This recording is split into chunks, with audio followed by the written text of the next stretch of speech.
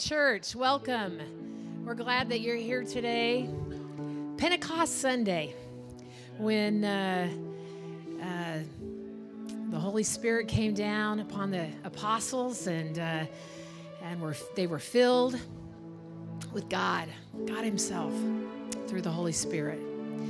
And um, I was thinking this week, um, uh, what an awesome, what an awesome gift not just salvation, but that we have the Holy Spirit.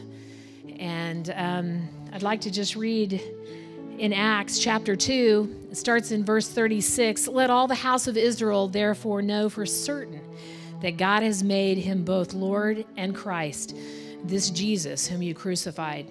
Now, when they heard this, they were cut to the heart and said to Peter and the rest of the apostles, Brothers, what shall we do? And Peter said to them, Repent and be baptized, every one of you, in the name of Jesus Christ for the forgiveness of your sins, and you will receive the gift of the Holy Spirit. And through the Holy Spirit, um, I look back on uh, the life of this uh, body of believers and in my own life, and I think, God has been so faithful so faithful. So let's stand and sing together. Great is thy faithfulness.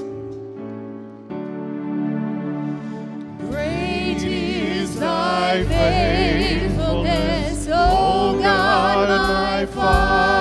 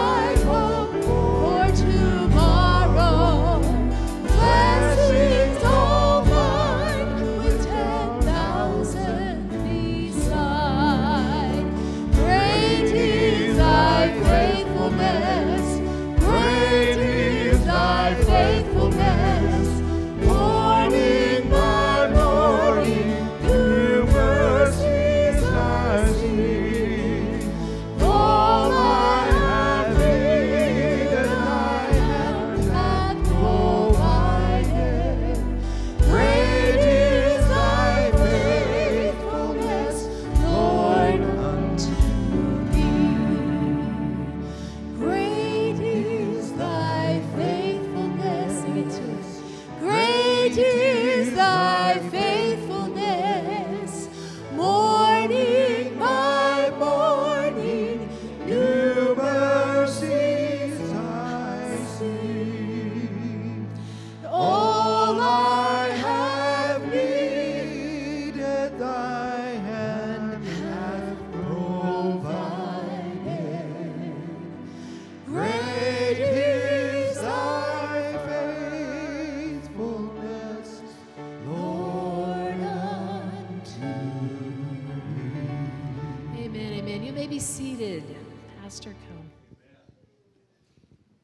What a great truth in that great song. A couple of things I want to remind you of. First of all, if you're new here, we're glad you're here. In fact, you bless me more than you know. That is a fact. And I, I just, I'm thrilled every week to, to meet some folks. So uh, we want you to text that number you see on the screen, and, and uh, there you can go to simnaz.org and uh, not only leave us your contact info so we can get in touch with you, you'll find out more about us because that's our official page. And there's even more there to learn. There's links to other things that you might want to uh, follow. And there's a great picture of Travis there, and you can just print that out on your little home printer and put it up in your house. That'd be nice. Did you know, did you know that Travis is, he's our youth pastor, for those of you didn't know. There's a book out that's uh, 100 Things to Do with Youth, and they thought they had the ultimate guide to youth ministry. Huh! Travis has found more things that are in a book of 100 Things to Do with Youth, including uh, joining tennis tournaments. Yes, that's right. If you're proud of Travis, uh, raise your right hand. Yes, the left hand went up. his left hand went up because he wore out his right hand serving. I'll tell you what, he's good, but uh, his, his young son, whew, you've done a good job keeping the old man in the game. Hey, I, and I say that literally because were you the oldest guy there? No. Oh, really? He should have been in the senior bracket, but he was playing with these guys, and the kids he was playing against weren't winded. They weren't breathing hard. So he went over to the net and said, You know, the least you guys could do would be to breathe hard when I'm trying to play against you. That's true. That, that's true. And they wouldn't. So you know what he did? He smashed the ball at the net, and hit one of them in the chest, knocked him down. They had to call an ambulance. No, that, that part. He did hit one of the young guys, taking, a, taking advantage of the young guys. But anyway, I'm proud of the old guy for hanging in there. More, more news, moving right along. Vacation Bible School is at the door. My, I'm telling you, it's going to be so much fun. And uh, we want you to be praying for our students and for our workers and love on them when you get a chance. Let them know how much you appreciate them doing this ministry and uh, teach the kids about being created in Christ and designed for God's purpose. You know, He has a purpose for your life. I don't know what you're doing. I don't, I don't know what you think your life's purpose is, your goals, and where you're headed in life, but God has a purpose and a plan for you. You're not a mistake. He has a plan for you. We're going to have fun talking about, the, about that with the kids. Then Saturday, June 18th, our fun run and prayer walk. Now, this is coming up quick, but you have 13 days to go from couch potato to a 5K champion. There's a plan to go do it in 30 days, but you're going to have to speed it up a little bit now. You've got 13 days, and we'll have the ambulance on speed dial. You'll be fine.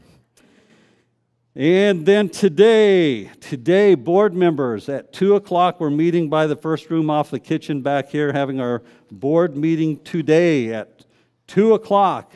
Hope you'll be there. I hope I'll be there. Somebody call and remind me. Today, 2 o'clock, a board meeting. That said, let's uh, worship the Lord today. And thank you for coming, every one of you. I appreciate it so very, very much. God bless you. Amen. I'm a bit of a Nancy Nazarene and I take a nap on Sunday afternoons. I'm not sure who decided, but anyway, I'll be there. Let's all stand together. Let's uh, praise the Lord together. Let's raise a hallelujah.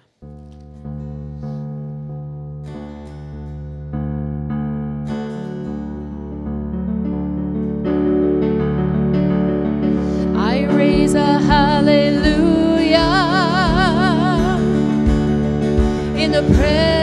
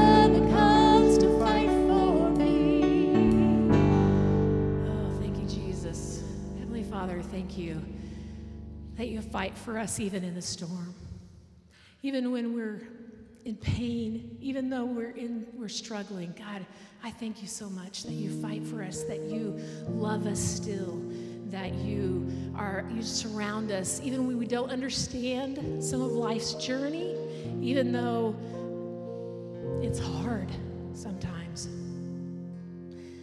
I thank you that in the midst of all that, you are so present in our lives through your Holy Spirit, and I thank you for that gift.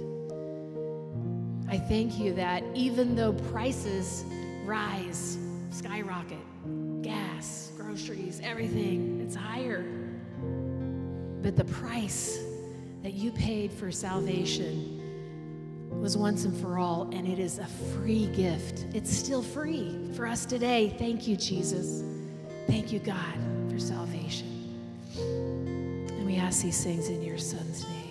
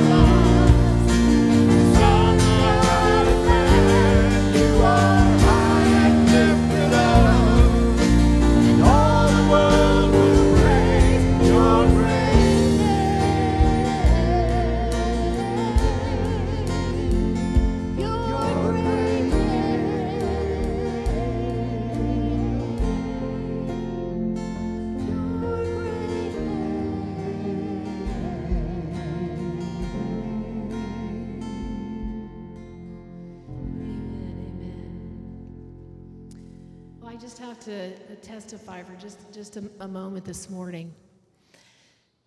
Um, first of all, we just, uh, Kevin and I just want to thank all of you, our church family, for such amazing support and love and prayers and texts during a really tough time when we lost two baby twin grandsons.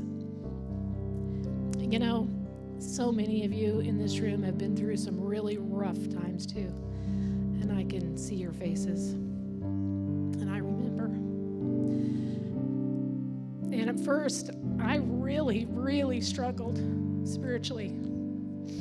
I didn't understand, and I was angry. I was so angry. It's so hard to see your kids go through that, and you can just imagine. And I think one of the things that helped me so much was the fact that God Himself sent His Son to die for us. And what a sacrifice that was for each of us. And there were days that all I could do was, I'm just going to trust you. I'm just going to trust you. I'm just going to read my Bible and I'm just going to trust you. And God has just revealed Himself to me in ways I never thought possible. He's revealed, I know, plans for my daughter and her husband as they minister to others. And as we go through these really tough times, some phases of our lives, some valleys, God is preparing us he, he is, and Grace and I were talking about that this morning. He's preparing us, He's growing deeper roots in us. And so while uh, it's tough, I'm thankful. I'm so thankful for what He's done. And um, this last song is just a testament of where, you know, He just, He will hold you through life's uh, trials and troubles and He'll hold you fast. When I feel my faith will fail, Christ will hold me fast. When the tempter would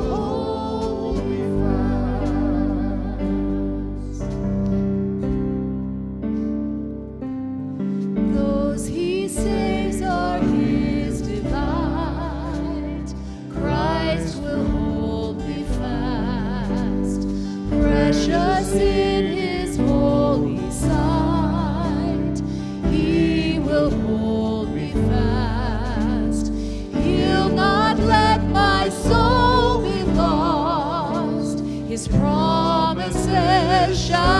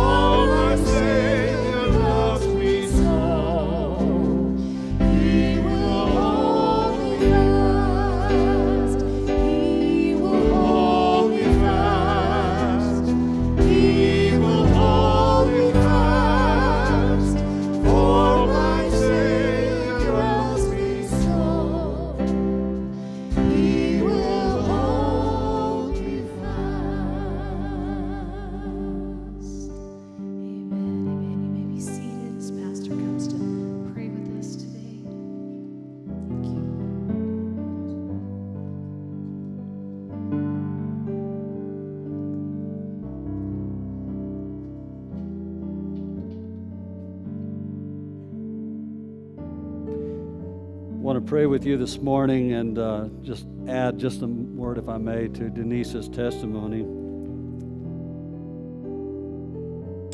I had uh, talked mostly with Kevin, I guess, and and uh, I had a I don't know what to call it, but just an intense have to know. Um, Kayla's boys' names. And uh, it's like I could pray for them, but without their names, I just felt like something was missing. Kevin shared with me the, their names, Levi and Simeon, and um, that just changed everything in my praying for them. And this is not about me, don't misunderstand. It's not like I'm super spiritual or anything, but it's just about the Holy Spirit. And that's what I want to preach about this morning. And so it seemed right to share this with you. But in praying through the Holy Spirit, I, I felt so present with those babies. It was like we were in the same room with one another spiritually. Not to say physically so that I could hold them but there was a spiritual connection like I think I've only experienced once before in interceding for a baby. And it was very, very, very, very, very real. In fact, I would say it was more real than being here with you today. It was eternally real, if, if you understand what I'm saying. And, uh, and when, they, when they passed, and I, I continued to pray for them, each of them, until their last and uh, when that time ended, it's like the Lord spoke to me just two more names or words, if you will. And I think because they were twins, I got two words laughter and joy. And it's, it's like if it was a book, you'd be turning the pages of their life, and you get to the last page, there was laughter and there was joy. I'm so glad for the way God works. I don't know what you need in your life today, but, but I want you to know God is real and He's present.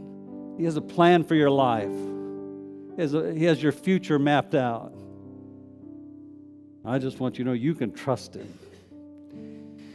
Father, as we come to you today, we're glad for your blessings. I will never experience laughter and joy the way I used to. I think whenever I think of those two words or experience them, I'll think of Levi and Simeon. I don't know why some lives, though they're eternal, their time on this world is cut so short. Others live so wonderfully long and are blessed and create memories and blessings and family, and there's so much to enjoy. But I know that you know and, and your purpose is fine. It's perfect, it's complete. I do not doubt your purpose.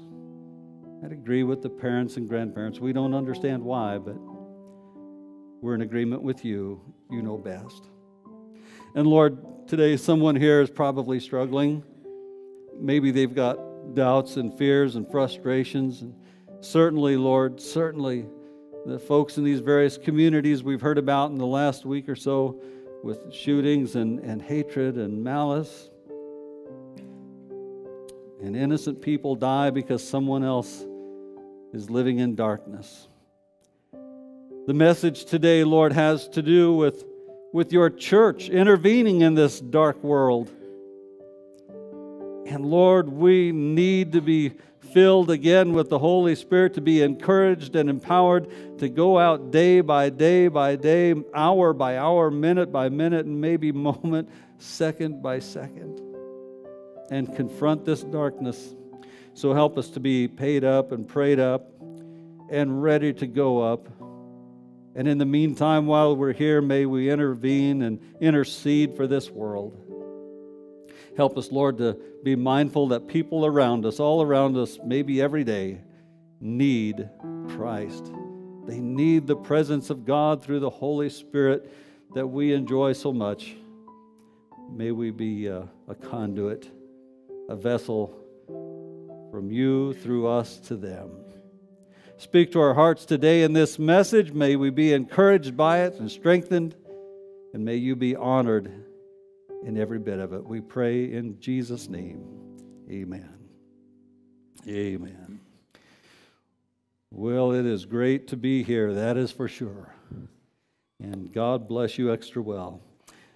Turn in your Bible, if you would, to Acts chapter 1, and mostly we're preaching uh, from chapter 2, but there's just this little bit in chapter 1 I'm going to repeat. This is what I preached last year, mean, not last year, last week. It seems like a year ago sometimes. Uh, last week. And um, let's start with this in, in chapter 1, uh, verse 6. They asked the question, Lord, at this time will you restore the kingdom to Israel? And he said, It is not for you to know the times or seasons which the Father has put in his own authority, but you shall receive power when the Holy Spirit has come upon you, and you shall be witnesses to me in Jerusalem and in all Judea and Samaria and to the ends of the earth. And, uh, and that, is, that is the change, the change that started a, a whole new era in the kingdom of God. The coming of Jesus was one thing, but the coming of the Holy Spirit has been more lasting. It has been up to our days and in our days and to this day and in our, in our souls. God, through the presence of the Holy Spirit, is with us. Amen. So, Acts chapter 2. When the day of Pentecost had fully come. Now, not all of your Bibles, because of different translations, has the word fully, but I guarantee you it's either there or implied there. When it had fully come, they were all together with what in one accord in one place. I'm glad that word fully is there because with that word inserted, it gives me the idea that God has been waiting for that very moment. At, that time, it was 4,000 years in the waiting. Can you imagine how patient God is? That He didn't jump the gun, that He waited until that day had fully arrived. I, I read a little bit about that word fully in the Greek, and uh, it was used sometimes of ships being loaded with cargo. And when they were fully loaded, they would set sail. There wasn't room for one more box. There wasn't room for one more sailor. It was fully loaded, completely. So time had been fully measured out. Everything that needed to happen had happened, and it was now, according to God's perfect will and plan, the perfect time, the perfect day, the perfect hour to send His Holy Spirit. We may never, never, ever know the deep, deep love of God. But when I read that God's word about the gift of His Son sent to die for us, and then I read about the gift of the Holy Spirit that He had promised us, given to be with us and through us and in us, to help us forever. It realizes just another level of God's love for us. That He wasn't uh, uh pleased just to um, send His Son to save us, there was something more. He wanted to fill us. He didn't want to just say, okay, you're cleansed and set us like a, an empty cup back on the cupboard, but he wanted to, us to be filled with his presence. What a wonderful, wonderful gift of God. Think of this when Adam and Eve sinned, God drove them from the garden so that they couldn't eat from the tree of life. Later, however, he sent his son Jesus to die for us so we could be born again and have eternal life. But he added to that gift of eternal life his presence the Holy Spirit of God, so that we could not only live forever, we could live right for, forever, and guided and encouraged by God Himself. So when that day, the day of Pentecost, had fully come, the Holy Spirit came. And the Bible tells us, as you read on, you find out that it was audible. Now, think about this. In our day, when we're in a great service and somebody's praying and they're born again and the Holy Spirit comes on a person, we don't see the Holy Spirit. Other than the person crying or shouting or whatever, we don't hear the Holy Spirit.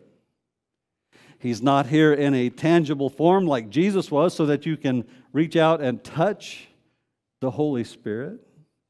But there was a sound from heaven. Make no mistake, this was not a, a climactic change in the atmosphere. This was a sound from heaven. It sounded like, and it was not a wind, but it sounded like a rushing mighty wind, a tornado. It was loud. It filled the whole house where they were sitting. In fact, we're going to find out as we read on, it not only filled the house, it filled the town. I'm sure you've heard the roar of some loud winds. This was pretty incredible. This was loud, and it filled the whole house where they were sitting. Not only was it audible, it was visible, a visible coming of the Holy Spirit in this. there appeared to them uh, tongues of fire that were divided and, and uh, set on each one of them, something they could see. Ask myself this question At the coming of the Holy Spirit that first time, why was there an audible experience and a visible experience? Something they could hear, something they could see. Why was that? Well, allow me to um, begin to answer that question by asking another question. Why was Jesus' ascension to heaven visible? In prior times, when Jesus appeared, he didn't knock on the door and they opened the door and they said, Oh, Jesus, come on in. He just appeared. Like you can imagine in, in, uh, in, in movies and something, somebody just appears. You're standing here talking to somebody over there, and suddenly there's somebody else right there. They just appear. And he left the same way. He just disappeared. He didn't go to the door and say, Well, I'll see you all later. Goodbye. And they watched him walk away.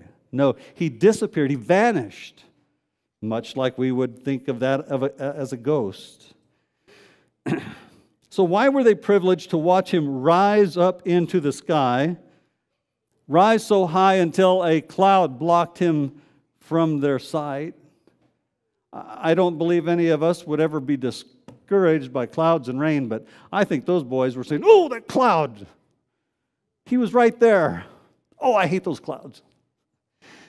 I don't think they said that. But they were watching him, and, and this is the other thing we don't know. How fast did he ascend? I don't know. I, I don't think supersonic fast.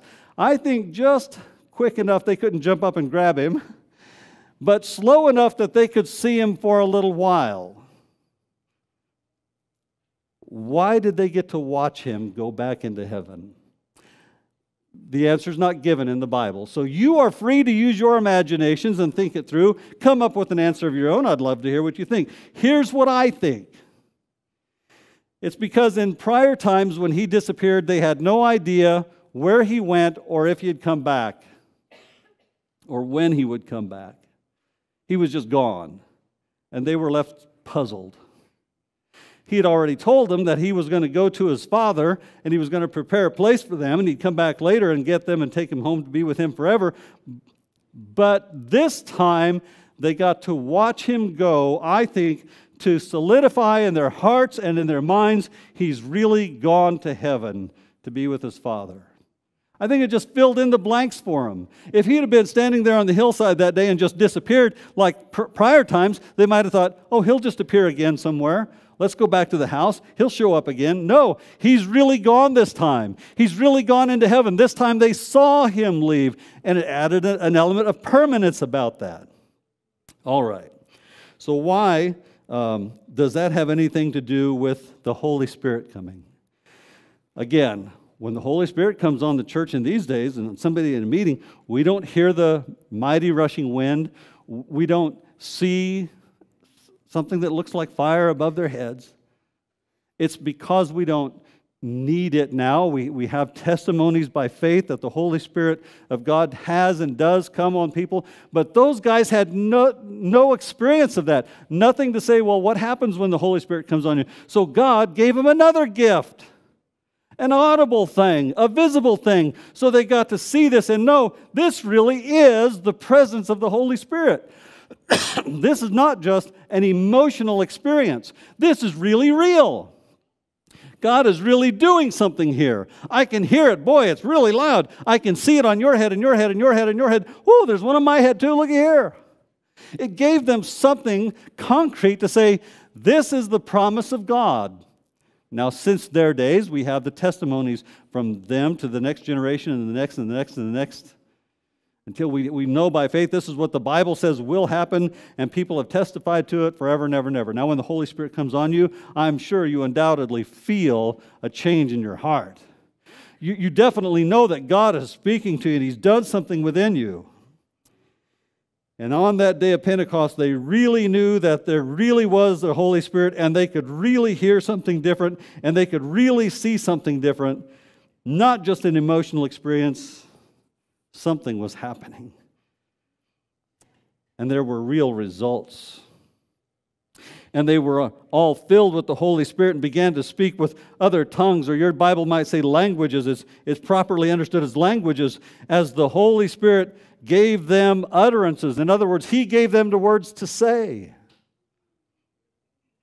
I think that's true even to our day.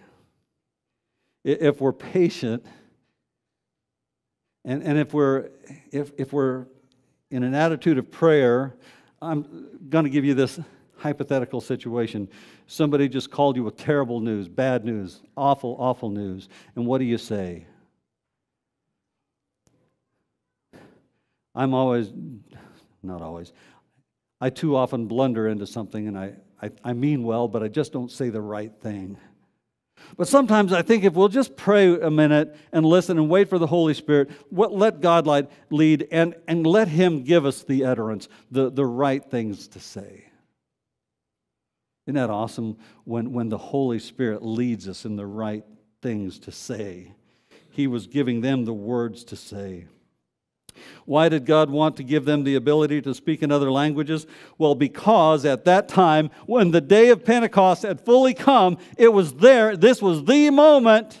There just happened to be in Jerusalem at that time Jews, devout men, here's the key, from every nation under heaven. Wow. Some of them were proselyte Jews. That, that is to say, they weren't born a Jew or a Hebrew. They joined the Jewish tradition or religion. They became Jews in that respect. And they're from every nation under heaven. And when this sound occurred, probably like a siren or something that was really, really loud in the neighborhood, it demanded everyone's attention. And when this sound occurred, the multitudes heard it from all around the city and they came running to where it was coming from. That room right there where all those crazy Galileans have been staying. What's going on? They were confused because everyone heard them speak in their own language. They were amazed and marveled, saying, Look, are not all these men who speak Galileans? Country boys? Rednecks? Not a lot of learning, like Oklahoma. No, I didn't say that. I'm sorry. God forgive me. And you too. I wouldn't have said that if I hadn't seen you sitting there. That's just a fact. But but they were you get the idea. They were Galileans. They they weren't like highly, highly educated people. How on earth is this happening? How do we hear that each, each one of us hears our own language that we were born to? And they list the countries here. Why, there's Parthians and Medes and Elamites, those dwelling in Mesopotamia and Judea, Cappadocia, Pontus and Asia, Phrygia and Pamphylia, Egypt and parts of Libya adjoining Cyrene and from Rome. Let me read that to you in modern countries, can I? Picture the, the worst, most volatile places in, America, in, in the world today. There are people from Iran, from Iraq, from modern Iraq and, and Syria, from Turkey, from Rome. I mean, they just kind of list all the hot spots where everything's happening, where, where you might suspect a war could break out at any time. And then he uh, mentions Cretans from, from Crete. Paul writes about people from Crete, and he says, even their own poets say they're all liars. Isn't that something? What a testimony about people. And there's even people from there. We're here and, and we're hearing the gospel. We hear them speaking in our own languages. Interestingly enough, if you look at the travels of, of Paul and the church, wherever the, the apostles went, it's listed there. It's where they took the gospel. It's like these people came to Jerusalem for the day of Pentecost to worship this high holy day, and, and they heard the gospel. They went back home and they'd say, You'd never believe what's happening over in Jerusalem. Why, why the the presence of God came on these crazy guys from Galilee, and they all began to speak in our own languages. We know they didn't learn them because they're not real bright boys, but they, they were speaking clearly the gospel, the good news of the mighty deeds of God, and, and they just spread the gospel in that respect everywhere they went. So then, days later, years later, when, when the apostles were going out preaching, people had already heard about this. Isn't that amazing that God had a plan and, and He got the word going without the internet? That's pretty amazing. so they were all amazed and perplexed, saying to one another, What? And, and this, is, this, is the, this is the impetus of the message today. This is what really got me excited about it. They ask an amazing question What could this mean? Has, has, anything ever happened in your life that you thought maybe God was working or He should have been? And, and, and, have you ever asked the question about some big event like, what on earth is going on? What is this all about? What is God doing? And generally, we ask that when, when we feel like God has been silent. What could this mean? I'll tell you what it could mean. It could mean that the work of animal sacrifices is complete because the blood of, of bulls and goats never could wash away our sins.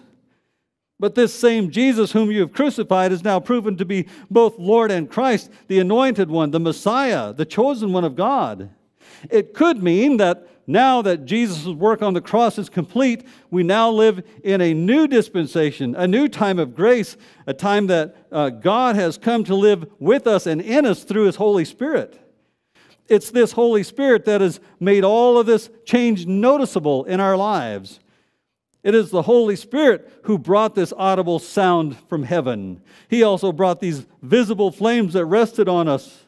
It's this Holy Spirit of God that's given, to, given us the ability to tell you the good news of God without fear and, and to do it in your own language so you can clearly understand what God is doing in our lives and wants to do in your life, so that you'll know that the truth of the kingdom of God that is here and now and present with us, not just them in that day, but here and now, today, this morning. That's what it could mean. It could mean that your days of loneliness are over. It could mean that you can know God personally. It could mean that uh, God can fulfill your empty, broken heart. It could mean that you can live a purposeful life that really makes a difference here and now. It could mean that you have eternal life. It could mean that you, you have a clear testimony that God loves you and is working in your life. It could mean that God again wants to dwell like he did with Adam and Eve with us. That's what it could mean. And, and then there's this little phrase. It always, it always acts like a speed bump to me. When the Bible's on a roll and good things are happening, and then it says, others. Dun, dun, dun. Others began mocking. They're saying they're full of new wine. I'm sure you've probably been mocked about something in your life, made fun of over something. I, I hope it wasn't because of your faith in Jesus, but it happens. Isn't it kind of odd that it's okay if you believe in God, just don't talk about Jesus much? And, and if, you have to ha- if you have to mention Jesus, just don't get too excited about it. Don't ever suggest that there are sins in this world and that people commit them. Or um, don't ever suggest that your sins are washed away and that your heart is cleansed. People don't like that. Or if you want to believe in Jesus, you have to at least agree that we all live in sin anyway. what a difference it makes to be baptized by the Holy Spirit, having His Holy Spirit living in us. What a, what a change that brings to a person's life. What a different kind of testimony that is. You start talking about the Holy Spirit, people want to call somebody to take you away. I, liked what I told you last week about being baptized with the Holy Spirit. I, I would just want to repeat this in case somebody might have missed this because I thought this was really good. In, in the old days, a, a teacher by the name of Nicander um, w- was teaching. And, and he said that to make a pickle, the vegetables should be first dipped. Remember, I told you that, that they called it bapto, dipped. Uh, had, the fruit had to be dipped into boiling water. That was called bapto. But there was baptized, a little different word, similar word, both were verbs and, and both concern the immersion of the vegetable into a solution. The first being dipped into water was only temporary, but the second act of baptism is, is going to produce a permanent change when it's dipped in vinegar and something is set within it and it's changed forever. Peter was baptized with the Holy Spirit and he was changed forever. He went from being a cautious follower of Jesus, thus he denied him three times, to being a bold believer, taking his stand to preach to a crowd of uh, thousands and not caring about what people thought. He took his stand with the, other, the others behind him as, a, as a, a choir of preachers shouting, Amen! Preach it, Peter! Sick him, boy! You're doing good! and they were encouraging him to preach the word. And he raised his voice, and this is what he said In these last days, God said, I will pour out my spirit on all mankind. Your sons will prophesy, and your daughters, and your young men will see visions, and your old men will dream dreams. And when the time comes, I will pour out my spirit on those who serve me, men and women. Both and they'll prophesy, and I'll set wonders in the sky above and signs on the earth below blood and fire and billowing smoke, the sun turning black and the moon blood red before that tremendous and marvelous day of the Lord. That was a reference to the second coming of Christ that will come, I believe, sometime shortly after the rapture of the church. And whoever calls out to God for help, the Bible says, will be saved. That's good news. That's a good sermon right there, Peter. What else do you have for us? He went on to say, Fellow Israelites, listen carefully to these words. Jesus the Nazarene, a man thoroughly accredited to you by God Himself. How was that? Through signs and miracles and wonders. And all of these things were done through Him in their common knowledge. This Jesus, following the deliberate and well thought out plan of God, was betrayed by men who took the law into their own hands. And he was handed over to you, and you shouted, Crucify him, crucify him! And you nailed him to a cross. But God untied the ropes of death and raised him up. Isn't that good news? You did your best, and Satan did his best. But the same God who gave him the authority to die for our sins also gave him authority to be raised again. I'm glad we don't worship today a, a dead hero. I'm glad we don't have a monument. I'm glad there isn't a place where we go to leave flowers every Memorial Day. We have a risen Savior who's alive and well today. Death was no match for him. David went on to say, I saw the Lord always before me, for he's at my right hand, and so I will not be shaken. Therefore, my heart will be glad, and my tongue will rejoice, and my body will also live in hope. Do you realize he's saying here and now? In this life, no matter how bad things get, I can have hope in my life for now. This isn't my best life yet. The best is yet to come. God has a better deal for us waiting, and I can't wait to get to heaven. Oh, it's a struggle that some days. Do you ever wake up doing this? Oh, come today, Lord Jesus. Please come today. Men and brethren, he said, let me speak freely to you. David he was born and he died. His tomb's right over there. I'm paraphrasing a bit. Therefore, being a prophet and knowing that God had sworn with an oath to him that the fruit of the body, according to the flesh, that he would raise up the Christ to sit on his throne. Amen. Jesus is alive and well. And, and all of that came to be and it happened. And God raised him up, of which you are all witnesses. He's, he's seated at the right hand of God. Having received from the Father the promise of the Holy Spirit, he poured out this which you now see and hear. God sent his son to die. He did. He was buried. He raised again. He went to heaven. And now he sent his Holy Spirit that you can now see the results. You can hear the results. You heard the sound. Now you're seeing us boldly proclaiming the word of God. Verse 36, he said, Therefore, let all the house of Israel know assuredly that God has made this Jesus, whom you crucified, both Lord and Christ. Wow. Why would God do all of that for us? To, to bring us hope so that when angry sinners kill your sons and daughters in the hallways of hospitals or in the safety of a school, you can have hope that they too will live again with Christ and that they'll have an eternal life in heaven with their loving Heavenly Father. Jesus came to life and He gives us hope, and the Holy Spirit comes to comfort and guide our hearts when terrible things happen in this world. I got the idea too late. But the day I thought about it, I thought, oh man, I'd have paid the 450 in gas if I could have just drove down to Uvalde, Texas, just to stand on a street corner and pray. I wish so much I'd have got that idea sooner. I wish I could have gone and, and offered the hope of God and, and pray and offer them Jesus alive and through the Holy Spirit being with us right now and just bring some comfort to somebody.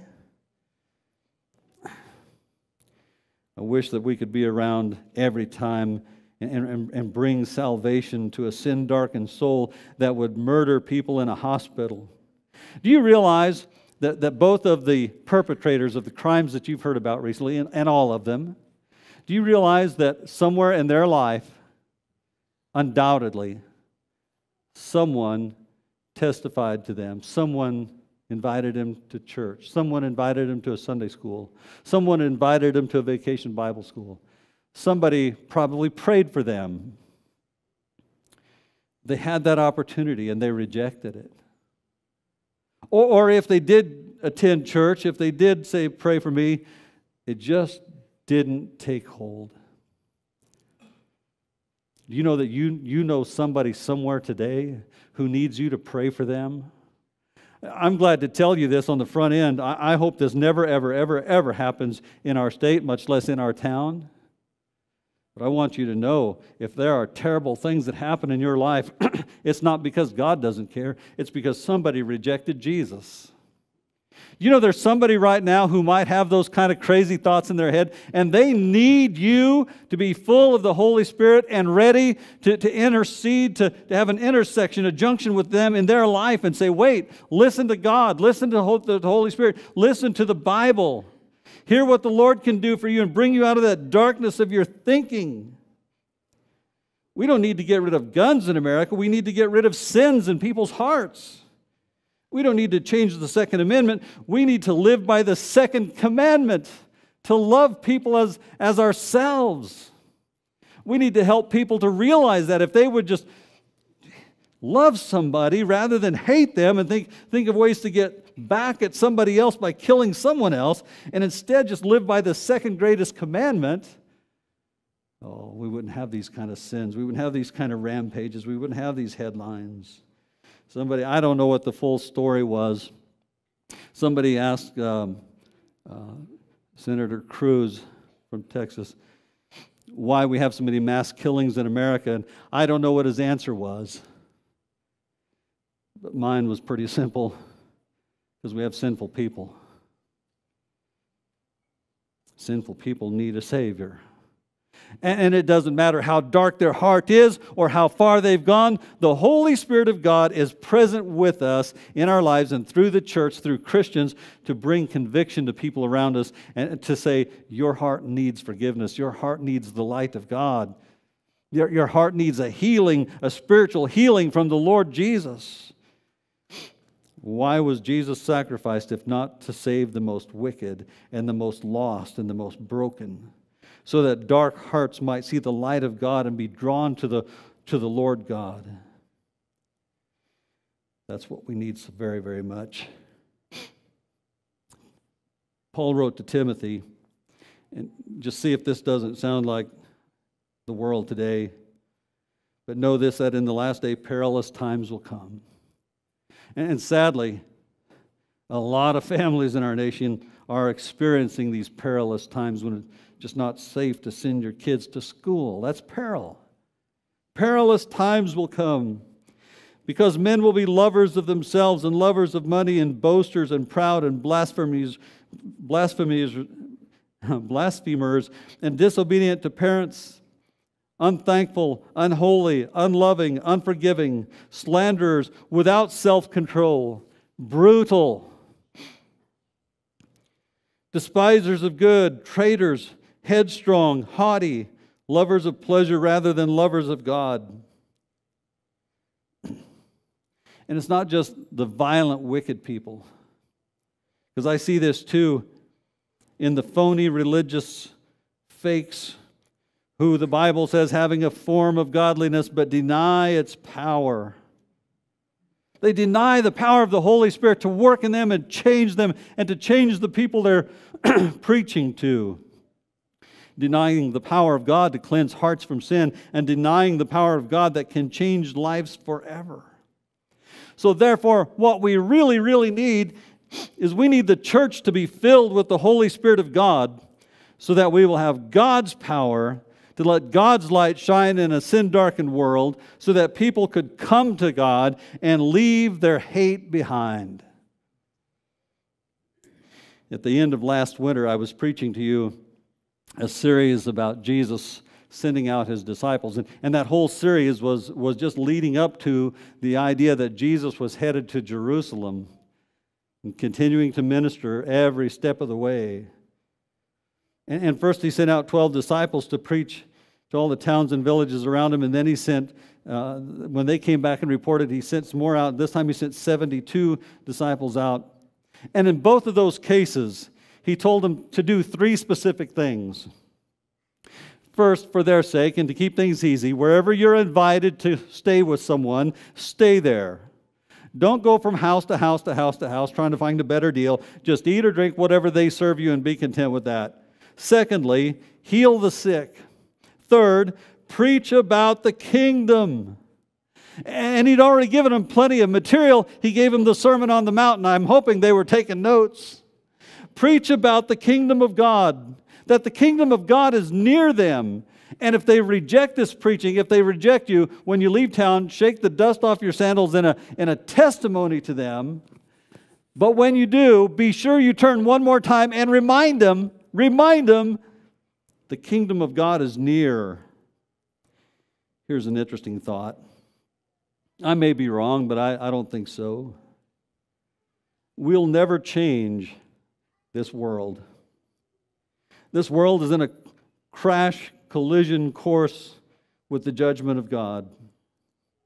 However, however, we can preach to people that the kingdom of God has come and is near to them, and all they have to do is, is by faith say yes to Jesus.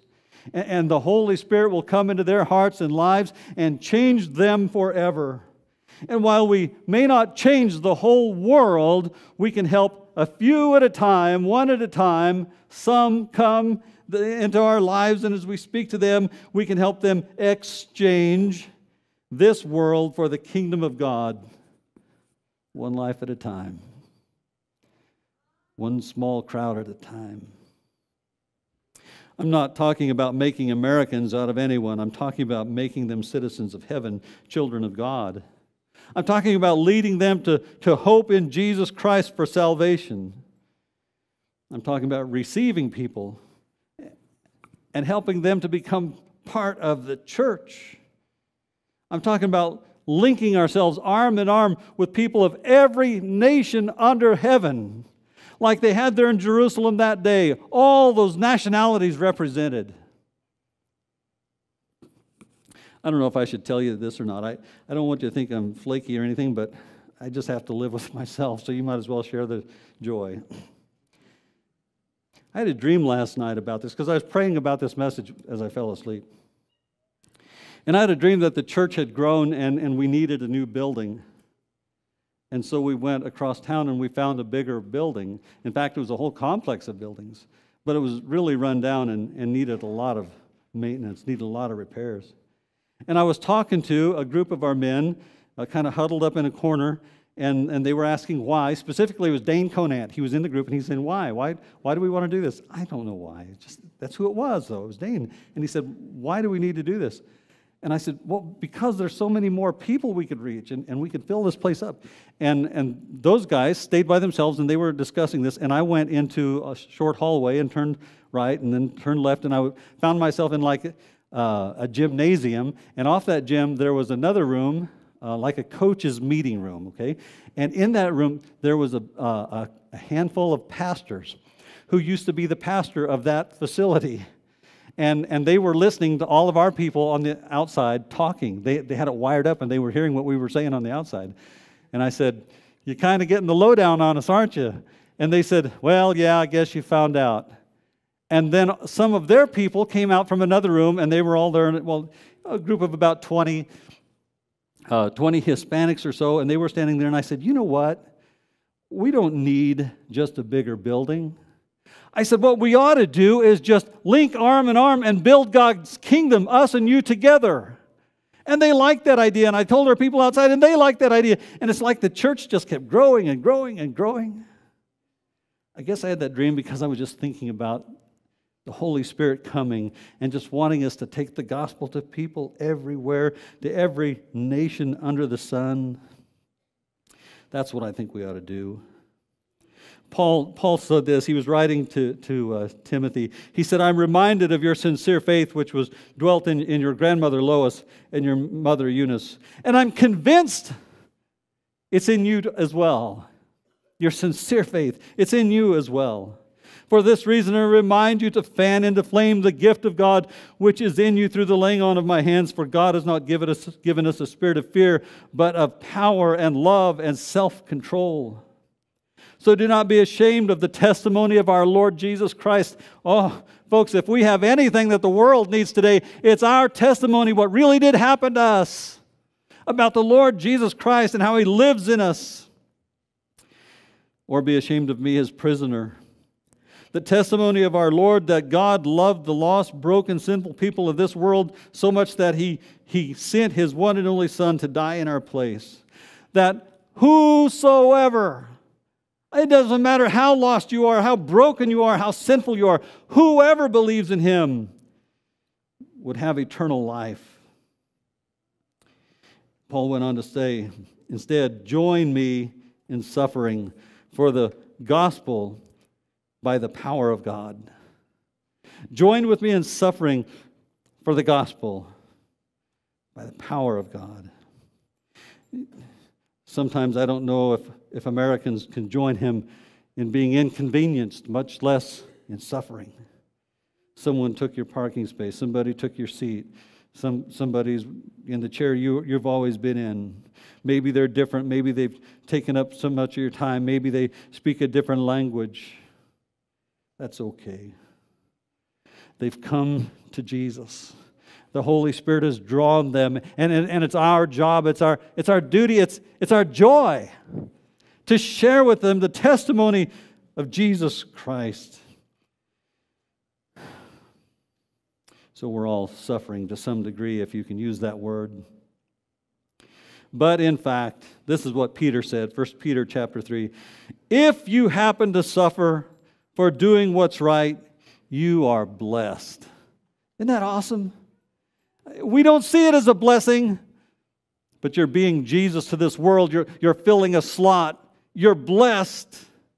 But do not be terrified. In, in some translations say this, and I, like, I think it's better. Or do not fear what they fear or be shaken, but set Christ apart as Lord in your hearts and minds. No matter what else happens, you just make up your mind, set it in your heart Jesus Christ is Lord.